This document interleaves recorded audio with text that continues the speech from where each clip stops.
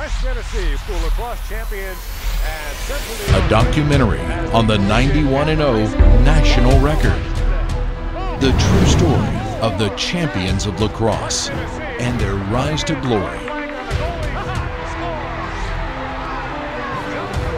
History. I think that, that's team quickness there. The way they got we were building a dynasty, and we felt like we were building a dynasty. Cots being raised on the shoulders of his teammates, number 35.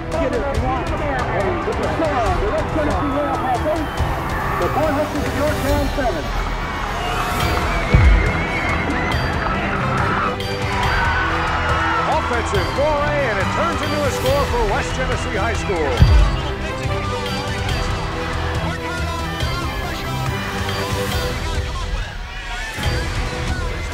The answer I get is, but it's not my call, but uh, increase. Tradition.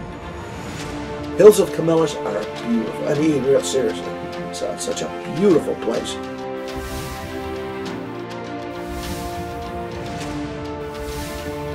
Maybe once upon a time, you, you, no one from out of the district could play at Shove Park.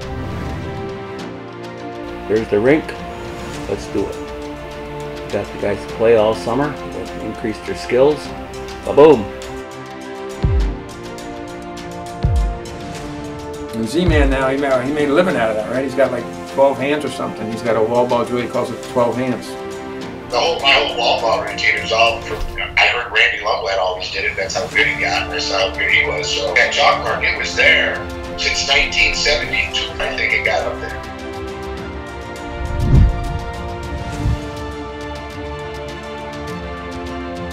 I don't exactly know where it, you know, why we had high socks, but we always did. I remember I would tape my socks up in addition to the elastic just to make sure that uh, there was no chance of them riding down.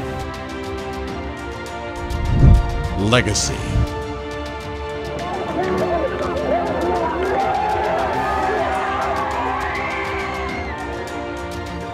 Too many people are obsessed with him winning state titles, and I just think he does a, such a good job molding men. It's, it's more than titles, and it's, and it's his philosophy too. It's his philosophy is not winning state titles at all. It's molding men, and just to see that list of coaches, let alone people that are successful in life. West Genesee Wildcats finishing undefeated. And the fans have erupted. The history, tradition, and legacy told by those that lived it.